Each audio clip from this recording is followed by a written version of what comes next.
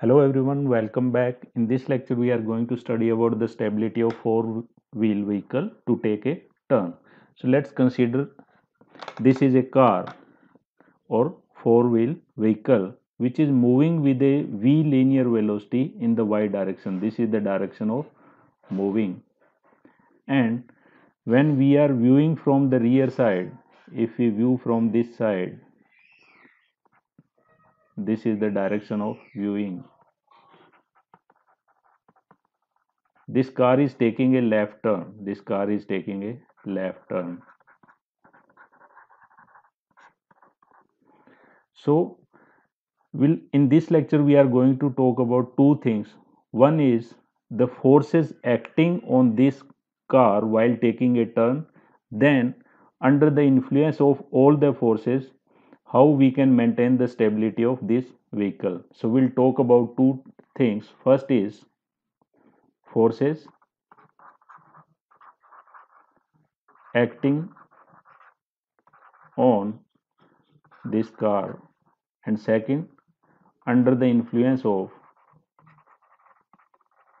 influence of these forces the stability so we'll discuss the stability later on. First we'll identify the forces acting on this car. So first force easily we can identify the first is gravitational force. First force acting on all the four wheels is gravitational force. Gravitational force. So because of this force, easily we can find out the reaction force on the wheels. So if mass of the vehicle is m, m is total mass of this vehicle, total mass of this vehicle. So total weight is acting in the downward direction through its CG, which is W equals to mg in downward direction and this weight is equally distributed over all the four wheels. So we can say this is equally distributed over all four wheels. So if we draw a top view of this car this here we are going to draw a top view of this car. Let's say these are four wheels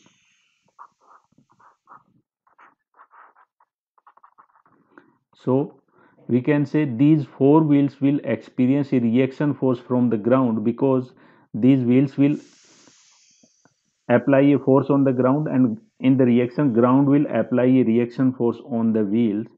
Let's say this reaction force called as r because of weight. And this reaction force on the wheels would be in the upward direction r weight. This is r weight and this is because of R weight. These reaction force and weight equals to mg. So total weight is distributed or contributed by four wheels.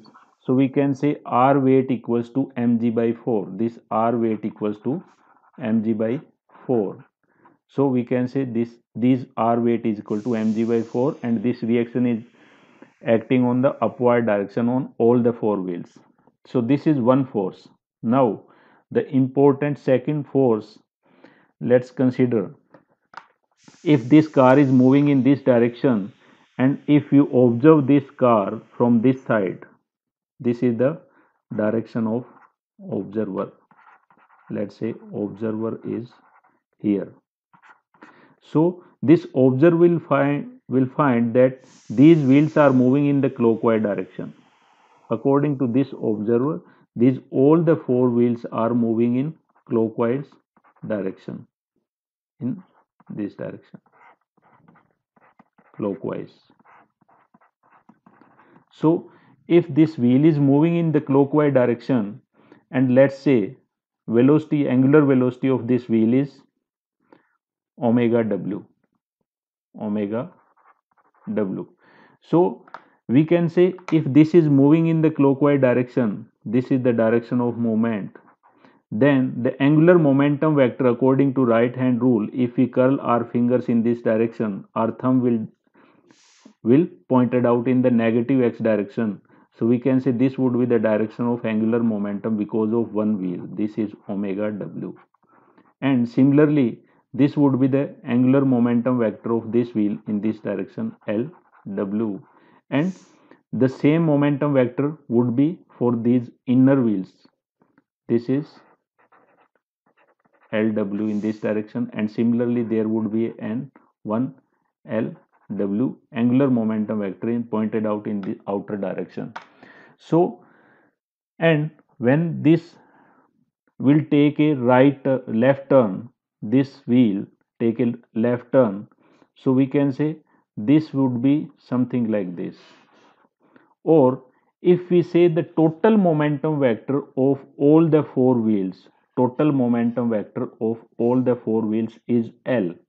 And so we can say L will would be something like this. If we draw the total momentum vector L at this place so this would be L L equals to total momentum of all four wheels now, when this is the L vector and when the this car takes the left turn, this car takes the left turn in this direction.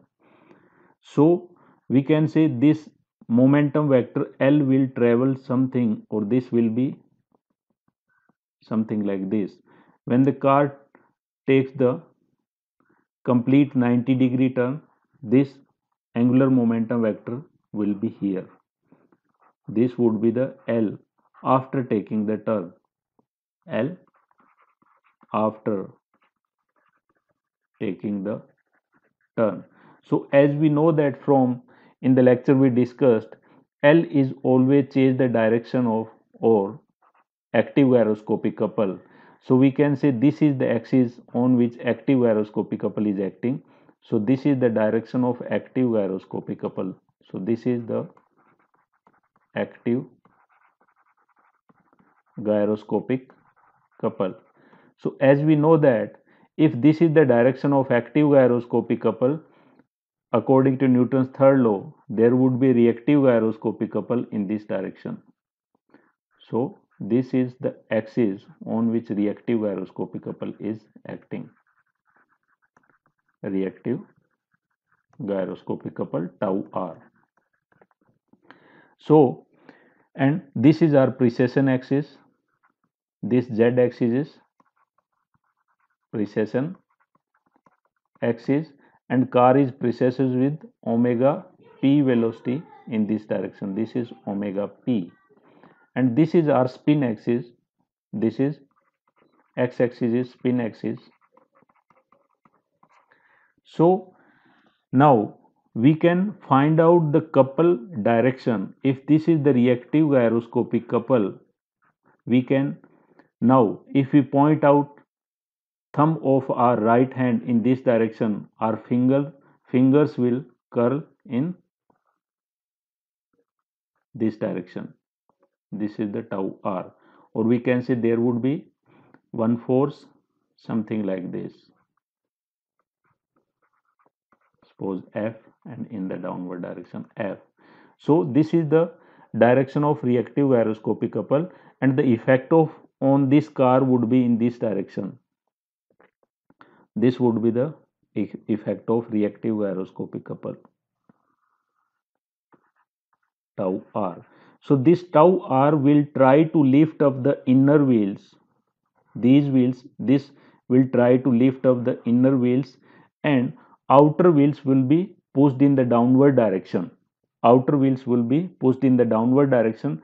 So ground in the reaction ground will apply a reaction force in the upward direction on the outer wheels and the inner wheels will feel a reaction will experience a reaction in the downward direction because this couple tau are trying to lift up the inner wheels and pushing the outer wheels in the downward direction. So now this is the second couple or force couple force on acting on the this car. So second is so let's try out here. This is r. Tau r because this is the direction of tau r. So this will try to overturn the vehicle in this direction. So because of this overturn if we draw the rear view of this car here. Suppose this is the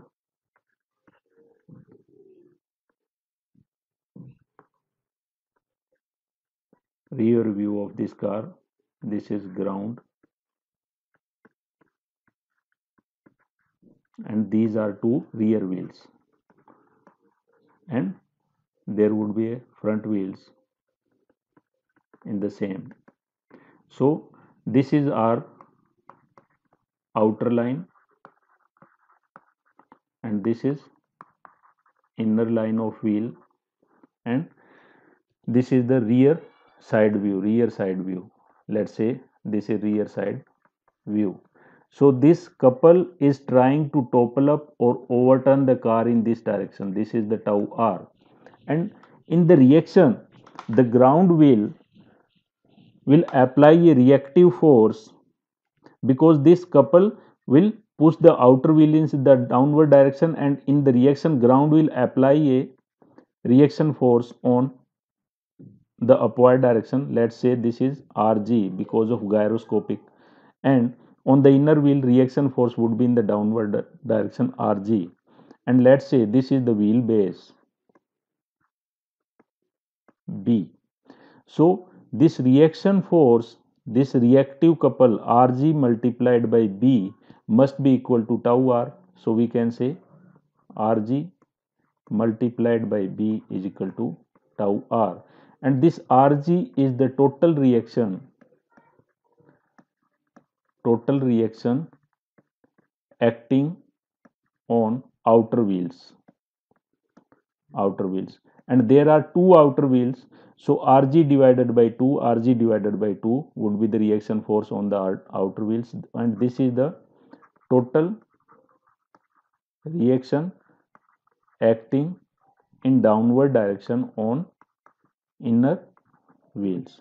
So this is our second force acting on the wheels. So second force acting on the this vehicle is first was our first was our gravitational force and second we can say second is gyroscopic or reactive gyroscopic couple. So this is second. Now let's discuss about the third one. So third this car is moving with linear velocity v and taking a left turn left turn and total mass of this car is m. M is total mass. And it's moving with a v linear velocity. So we can say suppose let's say this is the top view of our car.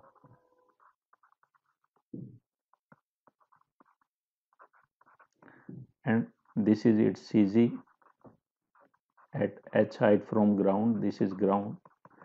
And at the CG it's moving with linear velocity v. So and precesses with omega p velocity. So omega p can be find out using the linear velocity and radius of curvature of this turn or track. So omega p equals to v by capital r. V is linear velocity of vehicle linear velocity of vehicle and r is radius of curvature of radius of curvature of track. So omega p is equal to v by r. So as we know that if vehicle is moving in this direction or taking a turn this will experience a radially outward force radially outward force in this direction and this is centrifugal force and this centrifugal force is equal to m r capital R radius of curvature of this turn and omega p square. So this is the centrifugal force and this centrifugal force is acting at Cg and Cg is as as h height from the ground. So if we draw this force at this place, let's say this is R Fc acting in this direction. And this is ground. And the Cg is as h height. So this will create a couple on this vehicle. And this couple is equals to so you can say couple because of centrifugal force. Centrifugal is equal to Fc multiplied by this H. Fc multiplied by this H. This is the couple so this will try to lift up the inner wheels this couple will try to lift up inner wheels and will push outer wheels in downward direction. So as we know that if this couple will try to push the outer wheel in the downward direction, the ground wheel so in the reaction in the reaction of this ground will apply a reaction in upward direction upward direction. So because of this couple let's say if we draw a rear view.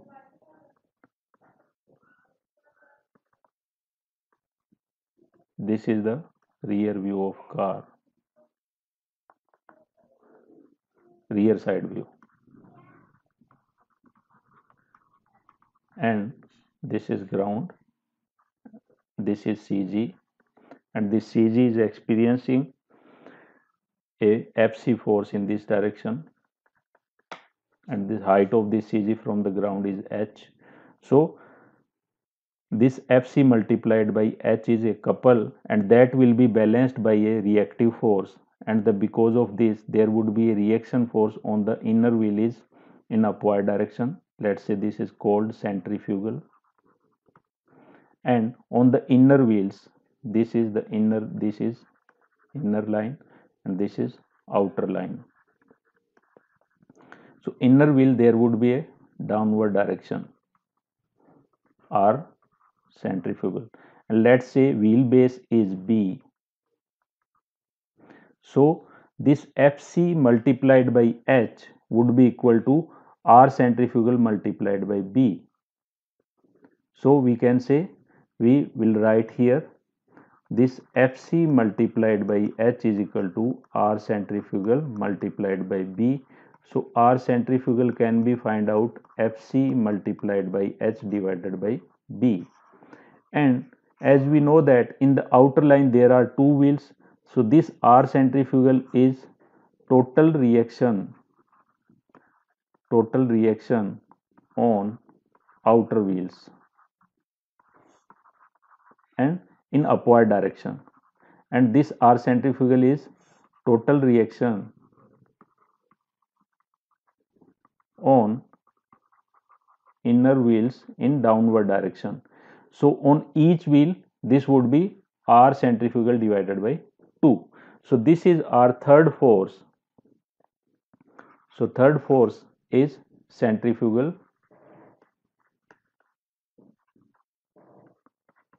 force couple. So these three forces will act on this car during the turn. So now let's consider it here. There are two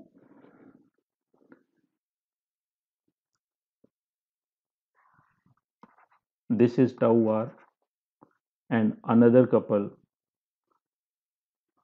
this force fc and this is height h and there is one more force acting in the downward direction which is mg so 1 this is our 2 this is third. So three forces are acting on or two couple and one gravitational force acting on this vehicle. Now we'll discuss the stability of under the influence of these all four. So first of all stability means so stability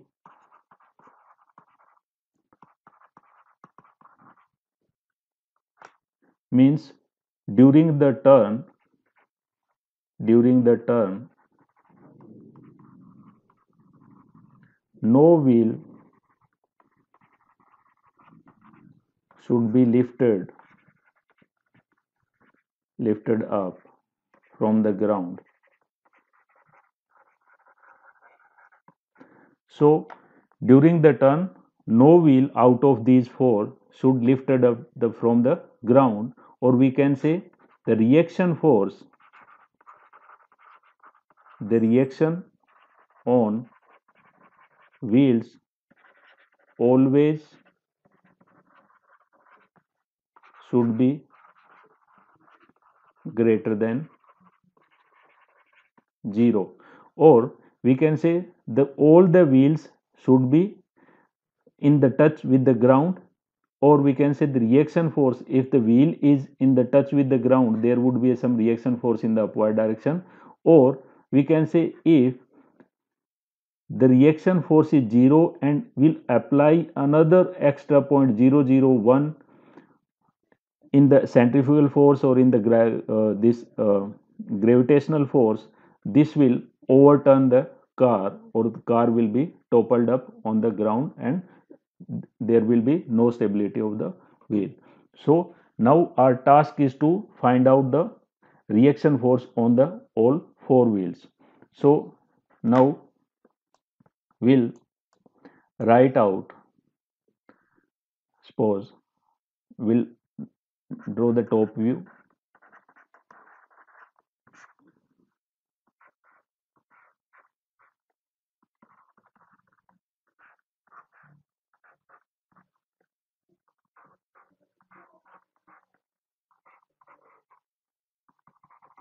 so this is our outer line outer line wheels.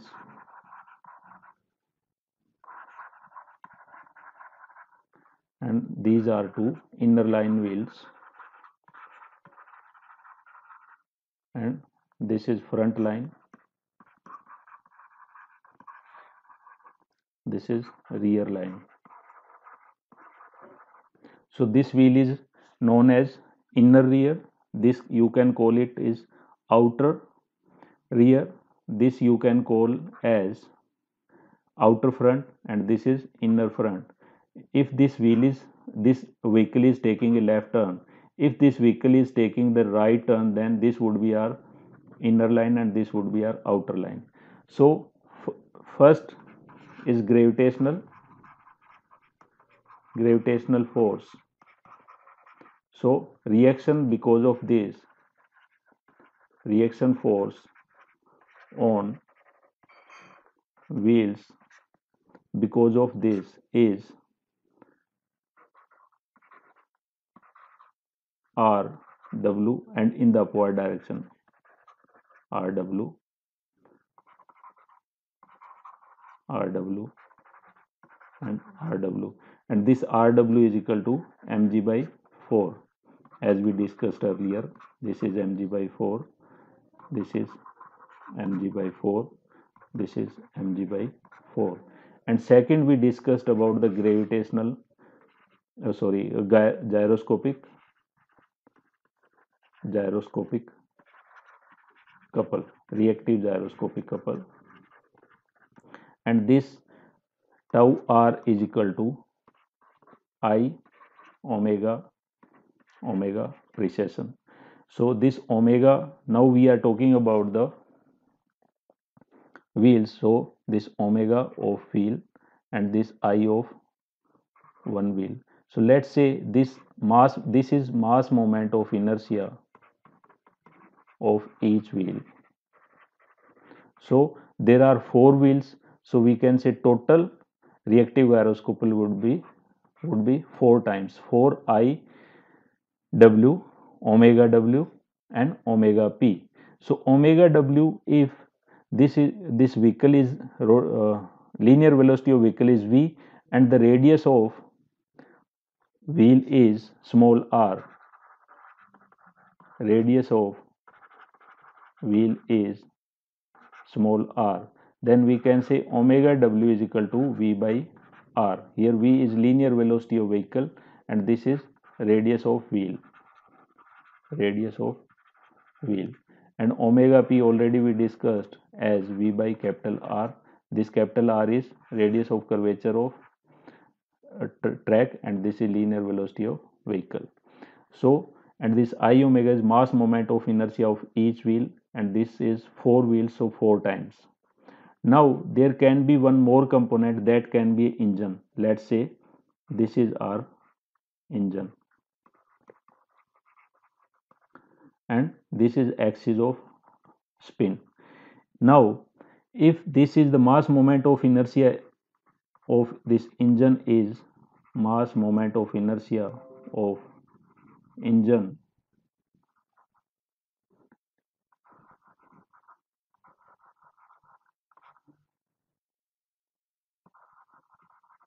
is ie and angular velocity of engine is let's say omega e.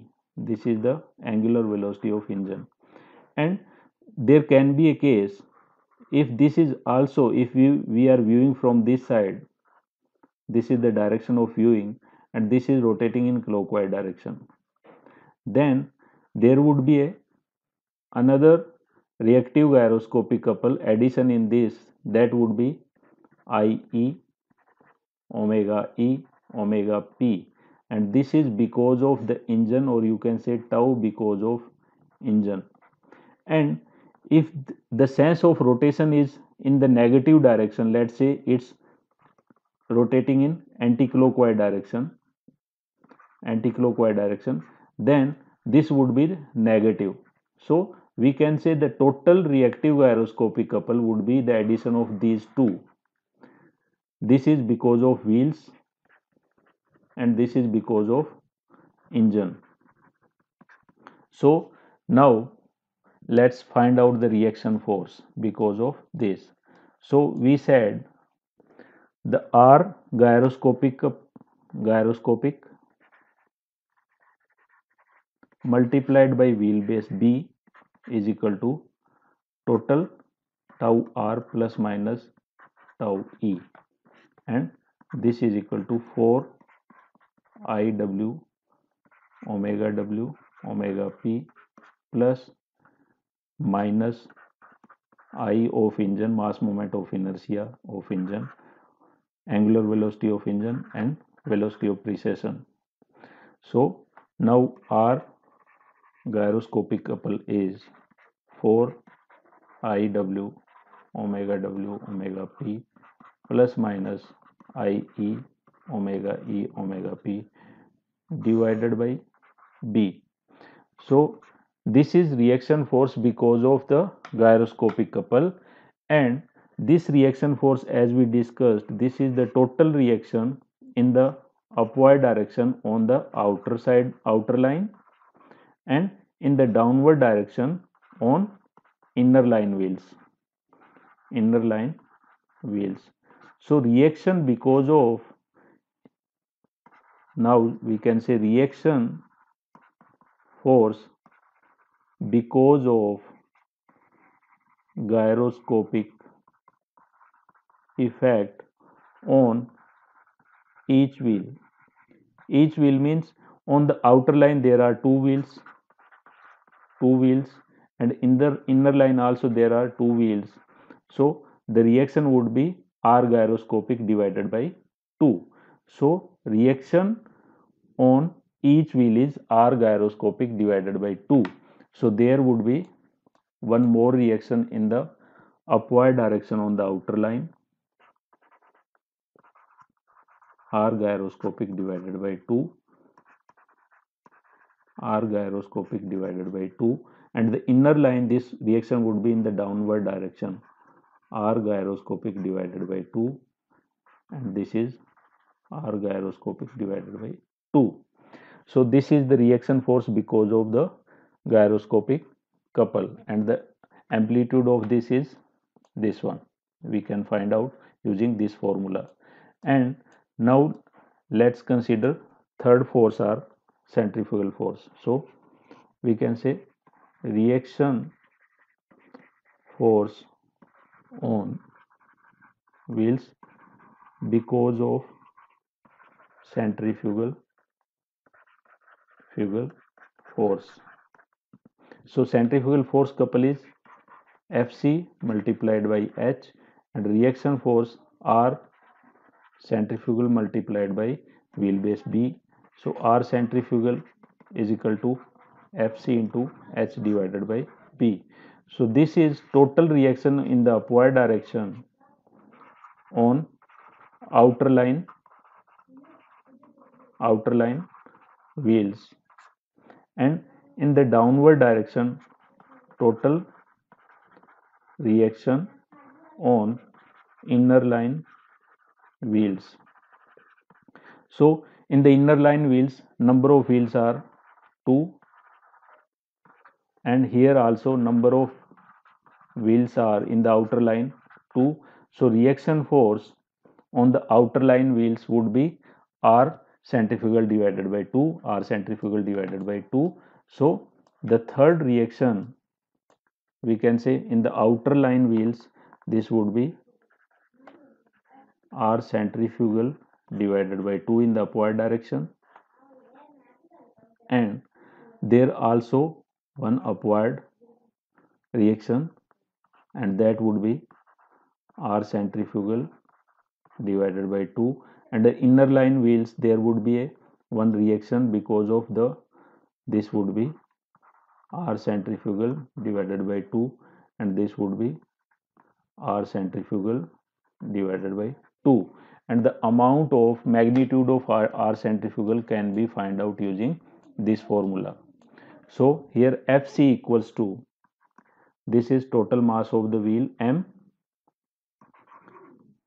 multiplied by r radius of curvature of track and omega p square multiplied by h divided by b. So here as we know that omega p equals to since omega p is so omega p equals to v by capital r. So if we replace this r we can find out r centrifugal m multiplied by r multiplied by v square by r square and h divided by b. So this r will get cancelled out and this would be r m v square h divided by b into r. So r centrifugal. So now as we know that here always on the outer line wheels outer line wheels all the reaction force are in the upward direction. So we can say there is no issue of the stability because the reaction force is always positive. But in the inner line wheels one reaction force because of the gravity is in upward direction and because of the gyroscopic and centrifugal the reaction force is in the downward direction so there can be a zero reaction or negative reaction and this vehicle can topple up or overturn. So we need to find out the condition of stability on the inner wheels and in this case inner wheel is experiencing the same reaction force. So now let's consider the stability. So for the stability we can say for stability you can say for stability. The reaction force on on inner wheels.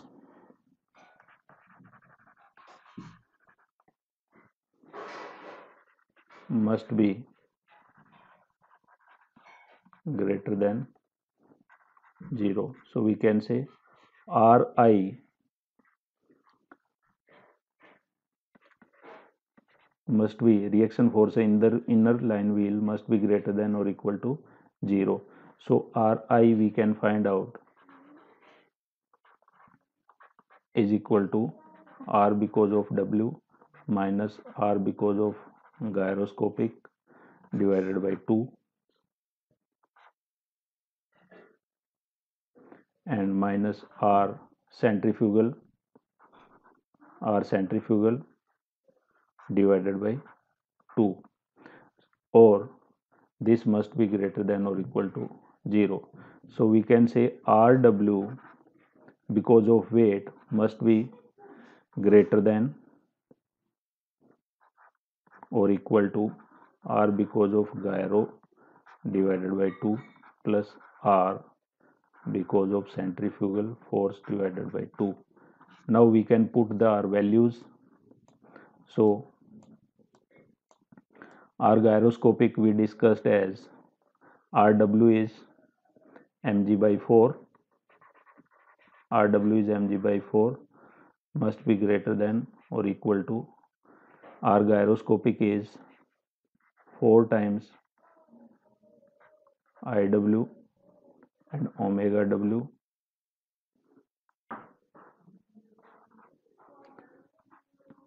And iw omega w and omega p.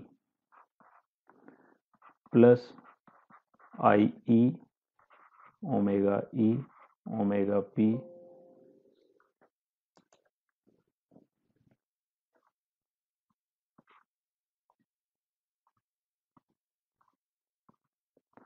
omega p divided by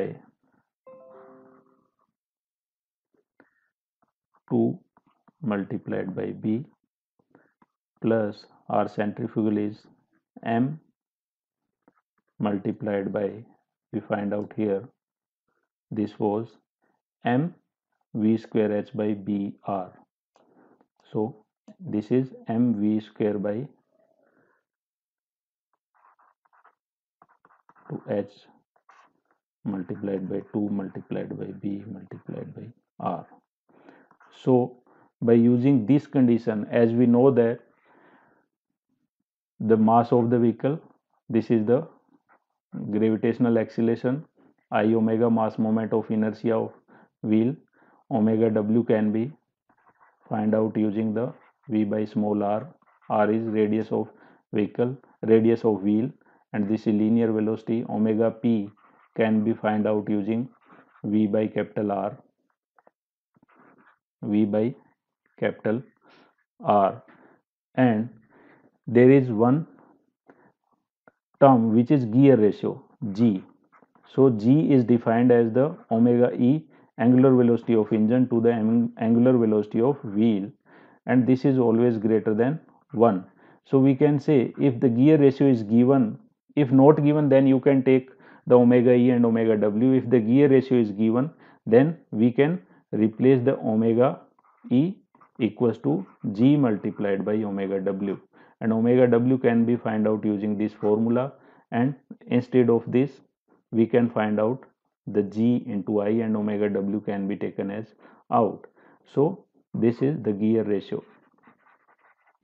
This gear ratio is used to get the reduction of the rpm because angular velocity of the engine is always higher than the angular velocity of the wheels. So if this is then we can use the this relationship.